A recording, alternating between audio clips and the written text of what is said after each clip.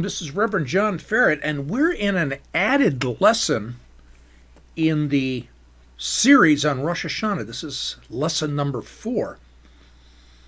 And this was a result of some research that I was doing back in Exodus chapter 20, starting in about verse 18. And in my research and in my study and in my access of fellow scholars, I learned some amazing aspects of a certain verse. It, it, its meaning surprised me. And it suggested another way that scripture testifies of Yeshua. Remember in John 5:39 Jesus says scripture testifies of me. He says that between 24 and 30 AD all the the only Bible that they had was the Hebrew scriptures, the Old Testament. But here's God, Jesus saying, Scripture testifies of me.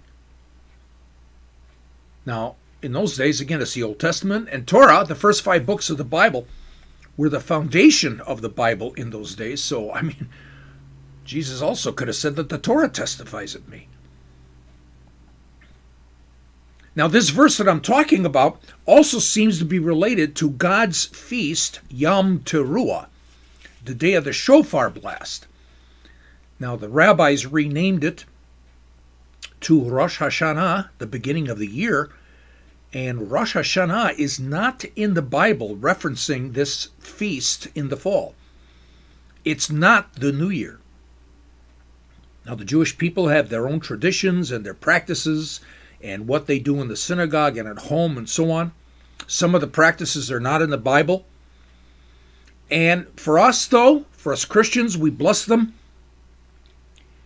And we say that's all well and good, but we want to come back to the Torah to say what does it say and what doesn't it not say. And again, it depends solely on the on putting the Bible's historical context.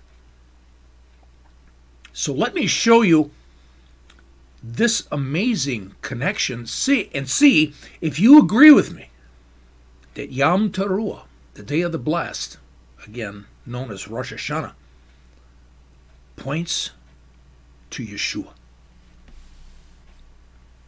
I'm going to go to Exodus chapter 20, verse 18. And this is one verse, two verses that I really want to talk about, and this is the first one. And this one's quite amazing. Exodus 20, verse 18 All the people perceived the thunder and the lightning flashes and the sound of the trumpet and the mountain smoking. And when the people saw it, they trembled and stood at a distance. now, when you take a look at the Hebrew, I'm not going to try to give you a Hebrew lesson, but if you go into the Hebrew, it's not perceived the thunder, they saw it. That's what it says. They saw with their eyes the thunderings. They saw with their eyes the sounds of the shofar. They saw with their eyes the lightnings. Well, thundering and the sound of the shofar is a little weird to see it. You can see lightning. But what's fascinating is the word for thunderings is has an also equivalent meaning for voices for tongues. And in the Bible, when you're reading about tongues, you're reading about a foreign language. Or you've got the sounds of the shofar, but what about lightning or lightnings? it has an equivalent meaning for fire torches. Now, this is really interesting. Why this choice of words? And with these equivalent meanings of tongues and fire torches. Let's do a what if. What if we ask, what does this verse say if we use equivalent meanings of the Hebrew? Well, if we go to back back to Exodus 20:18, the people saw tongues. They saw voices. And on top of that, they saw fire torches and the sounds of the shofar. You know, guys, this reminds me of Pentecost or Shavuot in Acts chapter 2. Let's go there, Acts chapter 2, verses 1 2 and 3. When the day of Pentecost had come, they were all together in one place, and suddenly there came from heaven a noise like a violent rushing wind, and it filled the whole house where they were sitting. And there appeared to them tongues as of fire, distributing themselves, and they rested on each one of them. Isn't this interesting? Let's do a comparison. At Pentecost in Acts chapter 2, there's a sound of a rushing wind. And at Sinai, there was the sound of a shofar blowing. It's a wind that's blowing through the shofar. So we have this concept of the blowing of wind. At Pentecost in Acts chapter 2, we have tongues, voices. And at Sinai, we have thunderings, which also could mean voices, tongues. And there were flames of fire in Acts chapter 2. And here, the translation into English and New American Standard, and I don't know what it might say in your version, but the Hebrew is torches of fire not lightnings.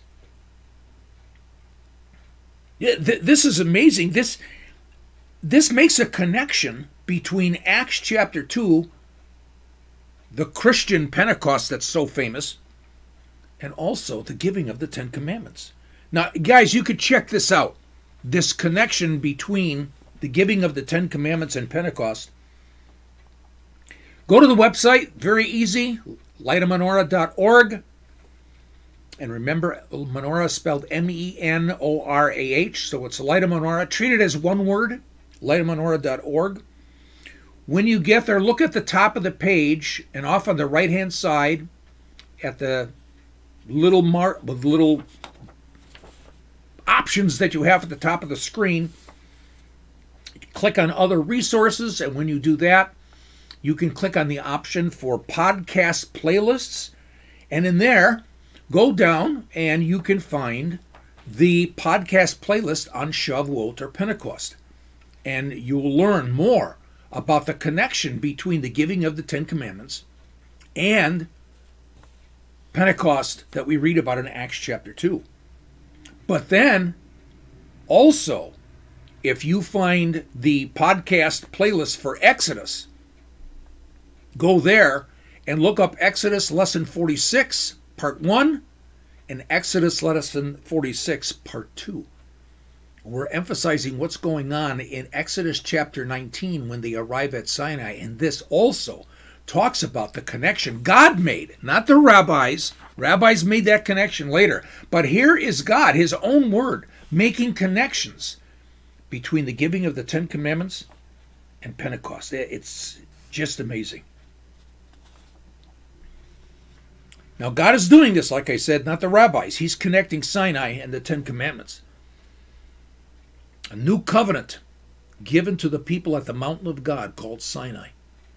And he's connecting it to Jerusalem, the coming of the Spirit, as part of the new covenant at the mountain of God at Jerusalem. So when we look at Exodus chapter 20, verse 18, there's an amazing choice of words in Hebrew and not English. Guys, if we saw what they saw, we'd be scared of our, out of our minds as well. Now, on a basic level, English level, New American Standard level, they saw thunderings. That's a sound. It says they saw the noise of the shofar. That's a sound. They saw sound.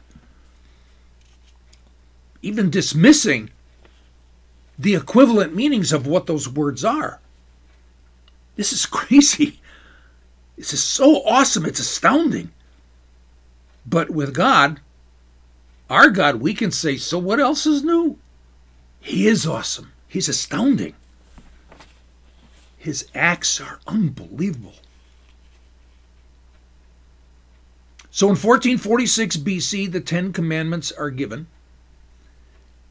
And the events in Exodus chapter 20, verse 18, just follows just after the giving of the Ten Commandments. Now, one year later,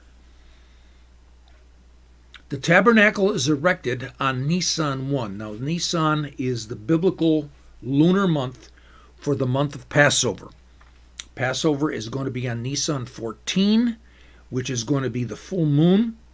But when we take a look at the end of Exodus, start and go back to Exodus chapter 40, it's one year later on the first of Nisan, God commands that the tabernacle will be erected. And that happens, and then we get into Leviticus. So it's sometimes it's sometime after the tabernacle of God has been erected. God talks to Moses from the Holy of Holies. Now, this is in Leviticus 1 1. Moses is not in the Holy of Holies with God. It says God talks to Moses from the Holy of Holies. So, like I said, this is probably weeks after the tabernacle has been erected. God's presence comes down. This is in Exodus 40, verses 34 through 35. And that was the first anniversary of the first Passover on the first day of the month. Now, so God is teaching Moses, God is talking to him from his sanctuary, and he's teaching him all the stuff in Leviticus, talking about his feasts, sacrifices, the appointed times, the Moedim.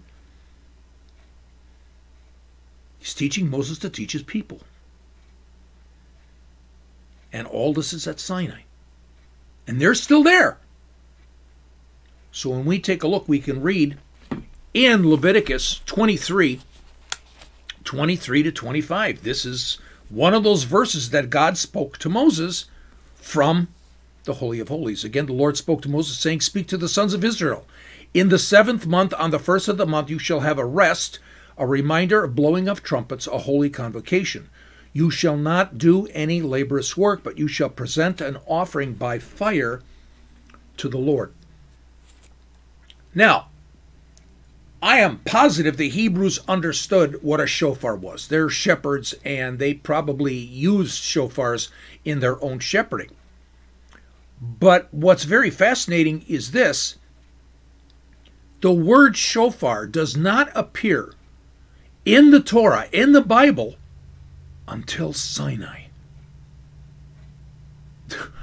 This is amazing. We have to understand this. This blowing of the shofar is related to their experience, and we need to understand what they did so it enhances our understanding and enriches our walk with the Good Shepherd. Jesus. So, like I said, the first time in the Bible the word the shofar is used is in Exodus 19, verses 16 through 20. Reading from New American Standard. So it came about on the third day, when it was the morning, that there were there were thunder and lightning flashes, and a thick cloud upon the mountain, and a very loud trumpet sound. Actually, the Hebrew is shofar, so that all the people who were in the camp trembled. And Moses brought the people out of the camp to meet God, and they stood at the foot of the mountain. A shofar, a teruah, a blast, a loud noise, a shofar sound. This is the first time we read about a shofar in the Bible, and it's at Sinai. It's on the day of the blast. And this is a blast. It's all connected to God coming down at Sinai for the first time. God is coming down to do all this people for the first time. Now, in previous lessons, you may have heard me present material about other shofar events. Like, for instance, when Solomon was crowned king, there was a shofar uh, blown at his inauguration. Uh, in Jesus' day, though this is not in the Bible, there was a shofar that's blown in every town uh, from the synagogue to announce when the Sabbath was going to start so people would understand that sundown is coming up. And to me, I suggested in previous lessons that these other shofar events is what God possibly wants us to remember. All of these shofar events. Matter of fact, one rabbi, and I believe I've discussed him in previous lessons, Saadia Gaon, he lived in uh, from 1882 to 942 AD. In his study, with regards to this feast, Yom Teruah. By that time, uh, in talking about the 9th, 10th century AD, it, Rosh Hashanah, that name was already being used. And Rabbi Gaon found 10 reasons for blowing the shofar on Rosh Hashanah, or 10 sh- shofar events that need to be remembered. Now, this is uh, a link that I've provided, uh, and if you take a look underneath the picture with regards to this lesson, or underneath the actual place where you clicked play, um, there should be a way of accessing more information that I've provided. And in there, I provided a couple of links so that you can actually read the words of Sa'adia Gaon, Rabbi Sa'adia Gaon, and his 10 shofar uh, events that he says are related to Rosh Hashanah. Now, God inspired Moses to write Leviticus 23 for the Hebrews. And we need to ask what is it that the Hebrews understood at Sinai? They didn't know about many of these other 10 shofar events. And like I said at the beginning, what does the Bible say? What does the Bible not say? And we want to put it in its historical perspective. So let's review what's going on here at Sinai. One, God comes down on the mountain of God, Sinai. You can read about Sinai being the mountain of God in Exodus 3:1, Exodus 4:27, and Exodus 24:13. And this is all connected to the new covenant, which is the 10 commandments. God said that. That's in Exodus 34:28, God's very words. These words of the Ten Commandments are the new covenant. Now, it's the first time God comes down to dwell with us. This is exactly what it says in Exodus 25, verse 8. Exodus 25, verse 8, God says, I want to come and dwell with my people. And it's the first time God comes down to dwell with his people. And it's the first time the shofar is used in Exodus 19 verse 16. So I mean you could do a you could do a search. I don't care what version of the Bible you're using for trumpet or horn or shofar. And like I said, the first time this occurs is in Exodus 19. Now, continuing to review what's going on here at Sinai, all God's people are gathered together to meet with the Lord. This is precisely what it says in Exodus 19, verse 17 that Moses gathered the people together to bring them to Sinai so they can meet with the Lord. This is precise. But this is critical. This is awesome. It's a spectacular real event in 1446 BC, but it testifies of Yeshua HaMashiach. It testifies of Jesus the Messiah it testifies of Jesus Christ. What I just reviewed, we're going to see that the connections of these events to Jesus are just too awesome. For instance, we said God came down at Mount Sinai, the mountain of God. And we know Jesus will return to Jerusalem, which is called the mountain of God. The mountain of God had moved. Jerusalem as the mountain of God. You can read about this in Isaiah 2, chapter 2, verses 1, 2, and 3. Isaiah 66, verse 20. Or Micah chapter 4, verses 1 through and 3. And there's others, places. So as God came down at the mountain of God at Sinai, Jesus will come down at the mountain of God at Jerusalem. At Sinai was all connected to the new covenant. And here's Jesus, who instituted the new covenant at the mountain of God. He completes the Sinai covenant, and he's the promise of the gospel. And Paul talks about this in Galatians 3, verse 8. Paul says, What's the gospel? He said, The gospel is what was preached to Abraham in Genesis chapter 12. And in Genesis chapter 12, one of those promises was that through you, Abraham, all of the families of the earth will be blessed. Jesus is that blessing. And we come to the fact that at Sinai, it was the first time that God came down to dwell with his people. But with Jesus coming down at his second coming, it's the last time God will come to dwell with us. It's over. It's the end of days. This is in Revelation 21, verse 3. It's exact. God comes down to dwell with us.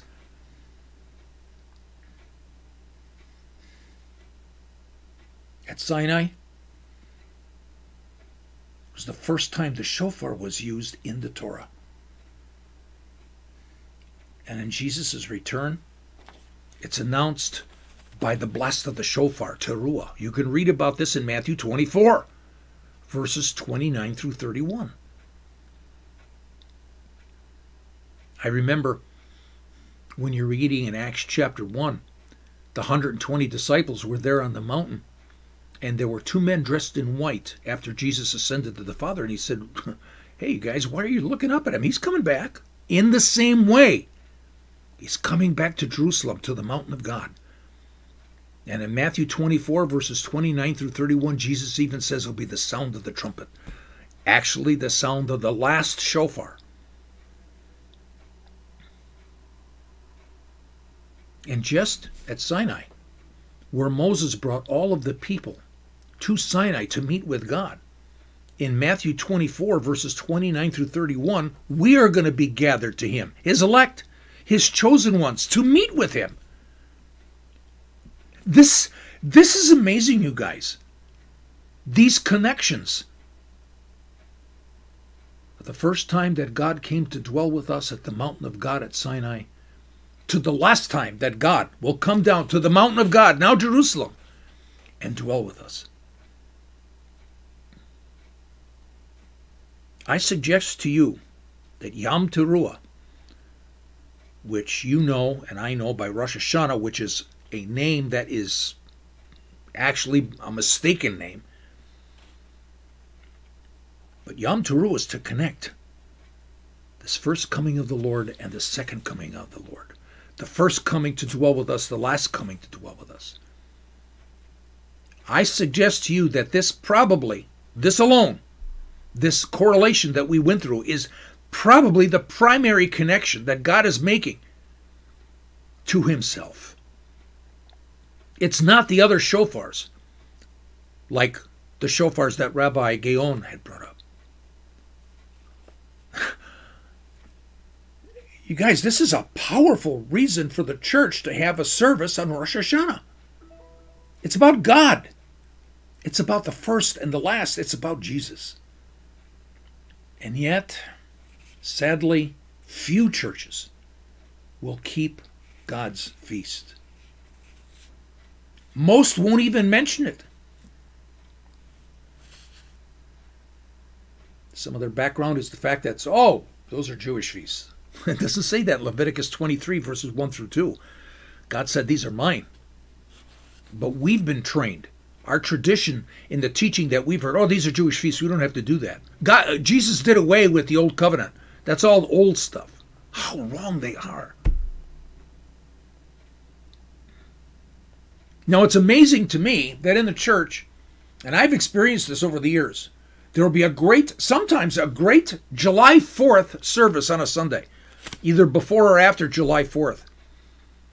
And it talks about our country, the United States, and the celebration of birth of the United States. Or what about Father's Day? Great Sunday sermons upon fatherhood and the importance of being a father, or Mother's Day. Or what about graduation Sunday in the spring?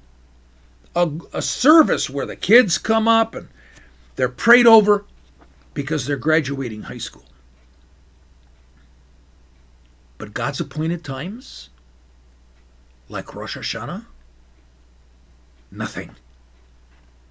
Nada. Silence in the churches. Silence on a day where Jew and Gentile, disciples of Yeshua, should blow the shofar and remember the first and the last.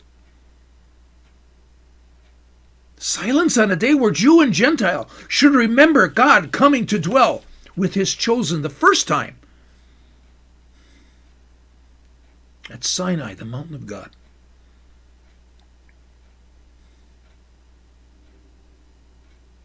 Jew and Gentile remembering God is returning to dwell with his chosen the last time at Jerusalem, which is the mountain of God. And we'll remember in Luke 24:50 that Jesus lifted up his hands to bless his 120 disciples before he ascended the Father, just like the high priest daily lifts up his hands. It could very well be that Jesus blessed them with the Aaronic blessing. I've taken the Aaronic blessing and I've turned it into a prayer. And I'd like to end our session with that blessing, that blessing that's based upon the high priestly blessing that God gave to Moses to Aaron to bless the people. Yevarekenu Adonai vishmarkenu, Yair Adonai panav aleinu bekunekenu, Yisa Adonai panav aleinu v'yasem lanu shalom. B'shem Yeshua Adonenu, Amen. So together, let's say this in English. May the Lord bless us and keep us. May the Lord make his face to shine upon us and be gracious to us. May the Lord lift up his countenance upon us, and may he give us his shalom. In the name of Jesus, our Lord. Amen.